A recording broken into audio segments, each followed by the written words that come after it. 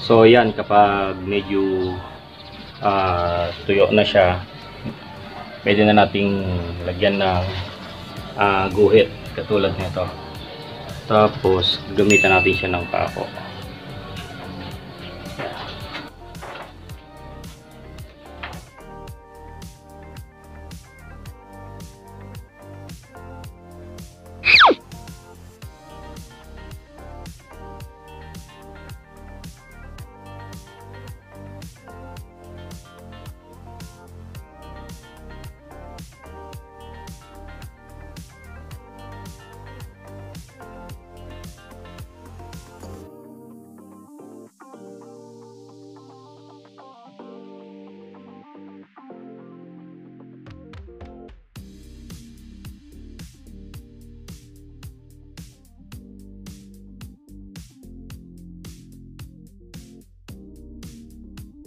So ganito lang ang gagawin natin gamit ang ah, brush, no? So after nung pako kanina na pinangguhit natin, so ganito na yung next na gagawin natin. So kailangan lang natin ulit-ulitin lahat 'yan hanggang sa mabuo nating maging ganito ang itsura ng ating ah, artificial stone.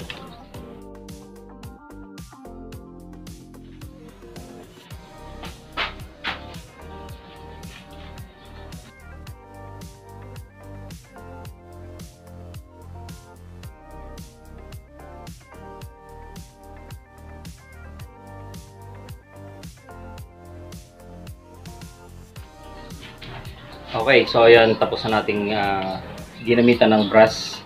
Ngayon, ang ah, next step natin, babalik tayo sa pako. Okay, sa pako ulit.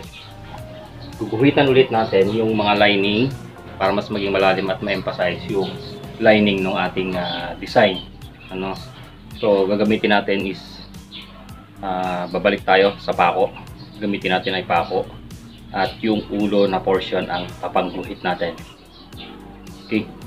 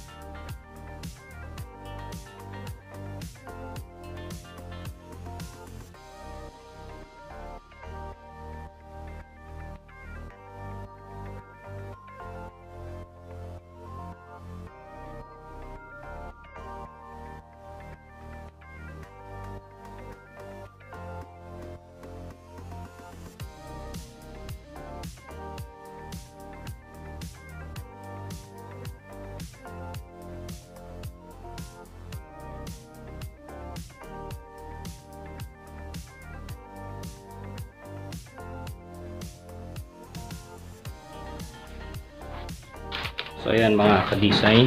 So ito na yung ating natapos.